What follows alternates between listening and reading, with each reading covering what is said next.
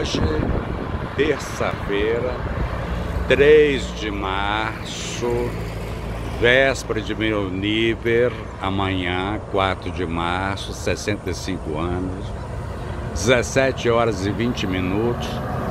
Estou aqui gravando agora o trecho sentido Guarapari Vitória, do trevo aqui da PRF, da 262 com a BR-101 já gravei do lado de lá para cá, fui em Viana, retornei para poder o bicho todo, inaugurei ele hoje.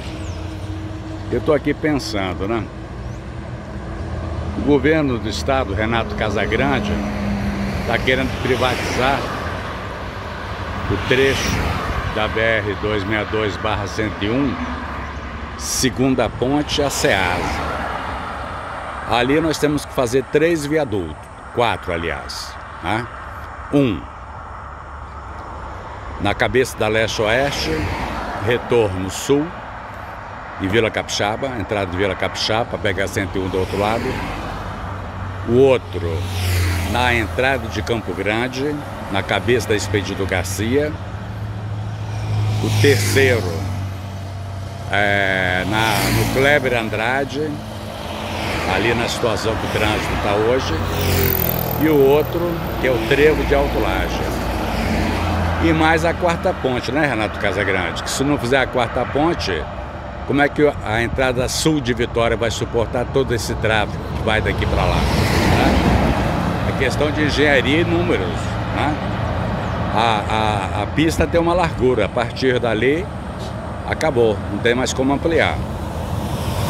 A aval do Juninho, que também tem interesse de privatizar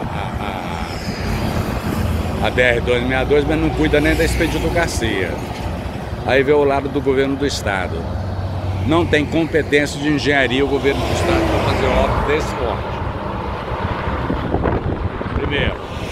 Segundo, não tem orçamento para isso. Principalmente com as enchentes agora, ele tem muito trabalho para fazer até o final do mandato dele. Qual é a minha visão? para os 10 deputados federais, federais, os 10 senadores. Senta com o presidente Jair Messias Bolsonaro, senta com o ministro Tarcísio Gomes de Freitas, faz essas quatro obras, aí sim o Estado privatiza que vai pintar só as faixas de sinalização, não vai cuidar bem da segurança, que não tem segurança suficiente para o Estado. Né? Aí vai ter que botar guardas militares na pista, não é isso? Da Polícia Militar.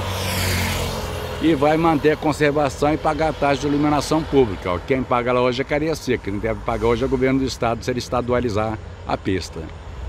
Entendeu, governador Renato Casagrande? Entendeu, Juninho? Respeita Tarcísio Gomes de Freitas, que ele tem tecnologia, engenharia, projeto sabe captar recursos. E respeita o presidente Bolsonaro, porque no dia 15 de março nós vamos para a rua, entenderam? Nós vamos é para a rua mesmo, é para quebrar com essa gambada que está lá no Congresso sacaneando com nós, com a aval do Supremo, entenderam? 15 de março, todos para a rua, sem perdão.